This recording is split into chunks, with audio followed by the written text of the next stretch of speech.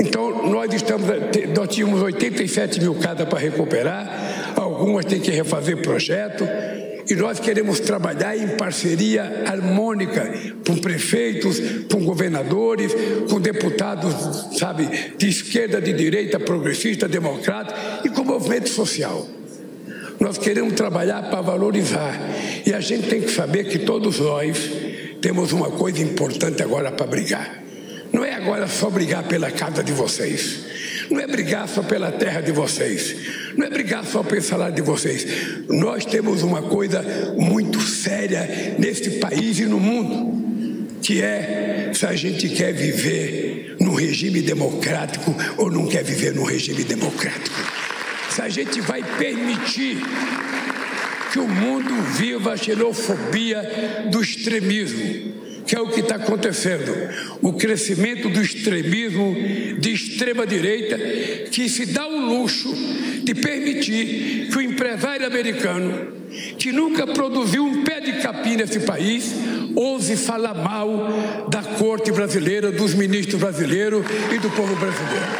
Não é possível. A gente pode ser bom, a gente pode ser muito harmonioso, mas a gente aprendeu que a gente não quer dar de cabeça baixa. A gente aprendeu que a gente não é melhor do que ninguém, que a gente não quer ser melhor do que ninguém, que a gente não é nariz empinado, mas a gente não quer mais cabresto. A gente não quer mais cangaia. A gente quer andar com a cabeça erguida, olhando para o lado, sem tapa no olho.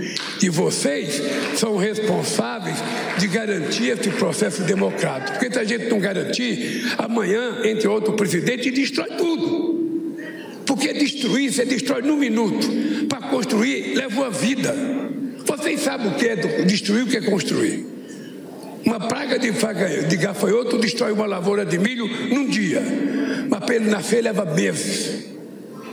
Então é importante saber que o dia de hoje é marcado por isso.